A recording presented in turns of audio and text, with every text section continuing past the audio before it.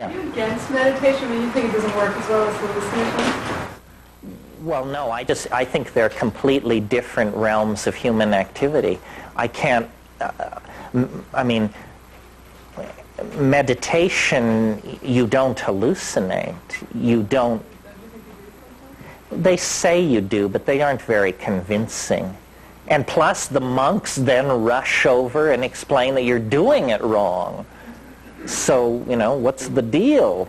Um, I think I, I, if, if by meditation you mean lying down and closing your eyes or sitting up and closing your eyes a lot, I do that a lot. And I like it, but I, I would never confuse it with the psychedelic enterprise. Pardon me? I, it's only my opinion, but I really don't. I think that it's that that all of these spiritual techniques are not um, substitutions for the psychedelic experience, but trade-offs. You know, I mean, organized religion is as concerned with controlling social groups as organized politics is and the the uh, the visionary or ecstatic experience is unsettling to the religious mentality. You know, even among fundamentalist Christians, uh, if you're not one, they all seem more or less alike.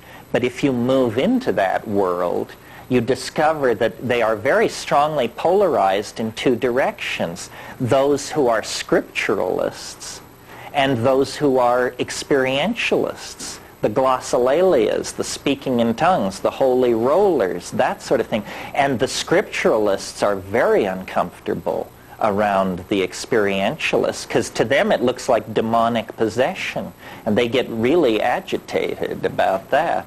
Um, think that medicine and meditation go very well together. I'll take ayahuasca or psilocybin and sit in the lotus position for many hours. And it, it's, it's incredible how they, how they work well together. And then after the experience is over, the next time I meditate, I feel like I'm still doing the medicine.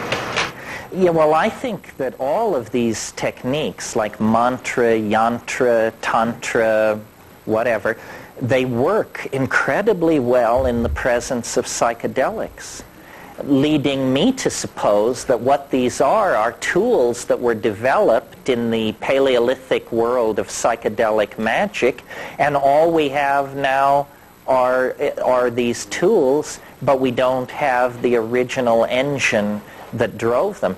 Yes, I, I am very bored by spiritual practice unless I've taken a psychedelic, and then, you know, mantric chanting is beyond the power of mind to encompass or describe.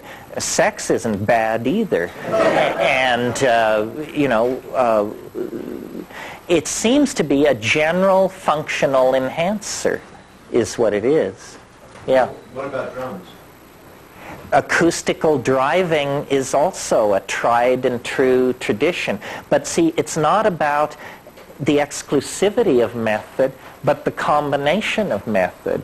I mean, what you want to do is beat your drum while sitting in Yab Yum, while stoned on X, while at the holy mountain, while the astrological configuration is correct, and then, you know, you know, line it all up and then push it through. That's the way to do it, I think.